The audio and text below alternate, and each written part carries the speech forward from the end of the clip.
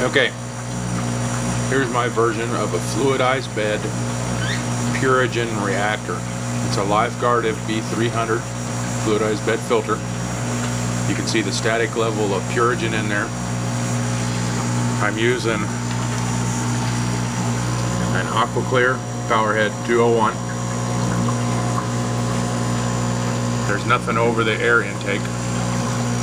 You really don't need much flow for this reactor. Okay, we're going to start it up.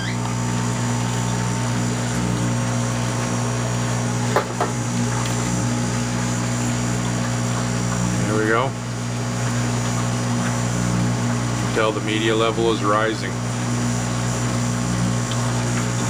Just about have fluidization. Now you really don't need much flow for this because the Purigen is really, really light in the water.